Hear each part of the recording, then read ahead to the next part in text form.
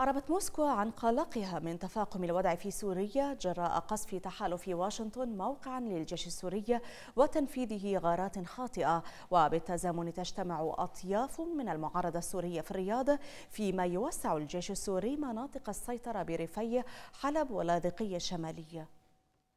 أعربت موسكو عن قلقها الشديد بشأن توجيه التحالف الدولي الذي تقوده واشنطن ضربة لمواقع الجيش السوري بريف دير الزور أمس وأعلن في بيان لخارجيتها أن الحادثة تدل على تفاقم الوضع في الحرب ضد تنظيم داعش وأن الغارة الخاطئة التي نفذتها طائرات التحالف على مواقع مدنية في مدينة الحسكة وأدت لمقتل مدنيين تصب في هذا الجانب فيما أكد وزير الخارجية الروسي سيرجي لافروف أن بلاده ستشارك في الاجتماع الذي تدعو إليه واشنطن. واشنطن في نيويورك حول سوريا الأسبوع المقبل في حال كان بصيغة لقاء فيينا.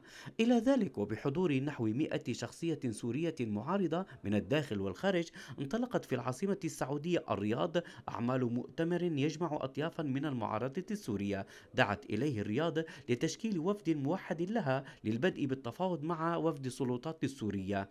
المؤتمر الذي استبعد الأكراد السوريين انطلق بمشاركة ممثلين عن جماعات مسلحة بينها جيش الإسلام والجبهة الجنوبية وحركة أحرار الشام. ميدانيا تابع الجيش السوري تقدمه على جبهة مطار كويرس العسكري بريف حلب الشرقي وسيطر على قرية شويلة شمالية حميمة بعد اشتباكات وصفت بالضارية مع تنظيم داعش. أسفرت عن توسيع الجيش منطقة أمن المطار فيما شن الطيران الحربي السوري والروسي غارات على مواقع داعش والجماعات المسلحة في أرياف حلب وحمص وإدلب وحماة ودرعا واللاذقية الشمالي حيث يواصل الجيش عمليات عمليات التقدم الحثيث وطالت الغارات مسلحي بلدات الغوطة الشرقية التي رد المسلحون فيها بقصف الأحياء السكنية الدمشقية بالهاون والقذائف الصاروخية ما أدى لوقوع إصابات وأضرار مادية في حيي المهاجرين وركن الدين.